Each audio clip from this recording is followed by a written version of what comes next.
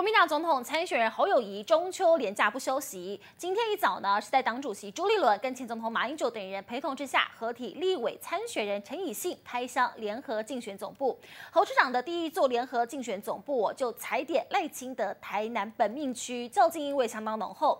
至于未来在桃园跟台中的竞总什么时候会成立呢？党主席朱立伦就说了，竞总办公室将会跟立委小鸡来整合在一起，从下到上一起打拼。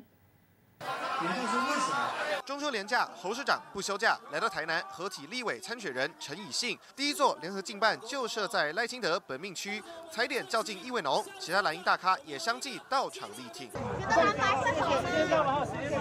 我们怎么看柯文哲说要比民调？前总统马英九面对记者问题，双手比赞不回应。总教练朱立伦、立院党团总召曾明宗、立委游玉兰也都来了。受访期间，侯友也不忘批评民进党执政，人民心惶惶。啊，讲了民进党进入啊，什么都慌了，蛋慌了，医师慌了，护理人员慌了，人民心慌慌了。